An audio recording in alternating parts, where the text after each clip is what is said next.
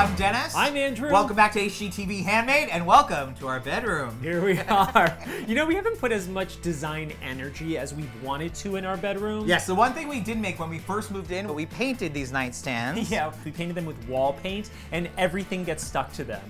So we're actually going to say goodbye to them. We're going to revamp our space today. Yes, and we wanted to start with something big, so we thought adding a headboard to our space would kind of help us shape the room around that. But when we were looking up headboards, they were super oh, expensive. Yeah. So being the crafty guys that we are, we thought we can make that. Yeah, so before we go to the hardware store to pick up everything we need, we're gonna measure our space, jot down the measurements, and then go. We are at the hardware store looking for wood. We found wood that we liked. It's already cut to size, so that's perfect for us. A tip is to just lay it out on the floor to kind of create your design and see what you like, and then buy it and take it home. I love it. All right, get to work.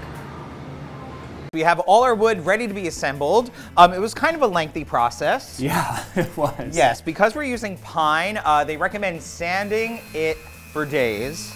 We started with a 150 grit sandpaper and then moved on to a 220 grit sandpaper.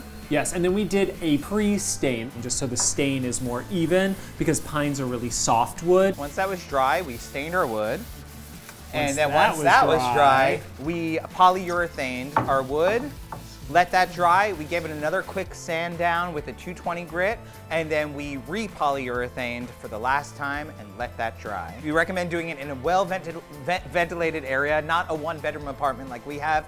Better yet, if you can take it outside. Yeah, that's definitely even better. Okay, so now we're going to put it all together. Our bed frame has holes in it, so you can attach a headboard to it. and everything was all measured out already. We knew that uh, we wanted 50 inches for our headboard. Uh, So our post we just cut down to 49 inches. This way we can just start it an inch down from the top piece. We're using a um, Easy square. an easy square to measure everything out. We're gonna line this up at the one inch mark here. You wanna measure over there? Sure. We're gonna use this piece of wood to help stabilize our post. We're just gonna slide it right under. And also, again, we know that we want our headboard to be 50 inches. When we have all these pieces together, it's about 48 inches. So we want to leave about a half an inch between each board. And to do that, we're using a little trick. We have a dowel here that's already measured out as a half inch. And we're just going to kind of lay that in between as we go and drill down our posts. Our bed frame is 68 inches, and these pieces are 70 inches, so we're gonna want extra inches on each side. So that's what I'm gonna measure out right now. Now it's time to screw it all together and hope for the best. Hey, you screwed it up. Just kidding.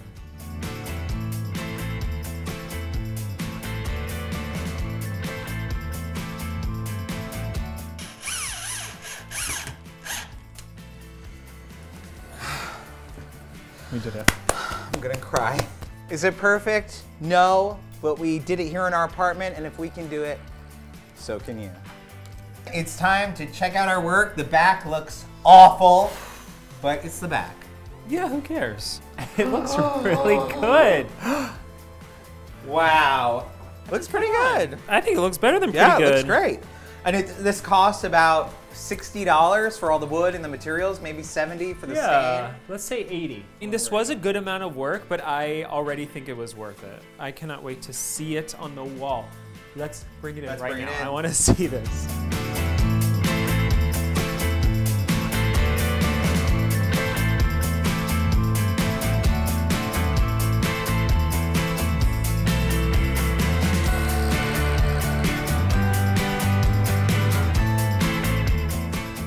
We love it so much. We cannot believe we finally tackled Oh our gosh, bedroom. Eight years later. Yes, and just uh, something like as simple as a headboard can make a huge impact in your space. Yes. Let us know if you have a room that you've been neglecting. Yes. And let us know if we've inspired you to make a change in it. Don't forget to subscribe, give us a thumbs up, and we'll see you soon. Bye-bye.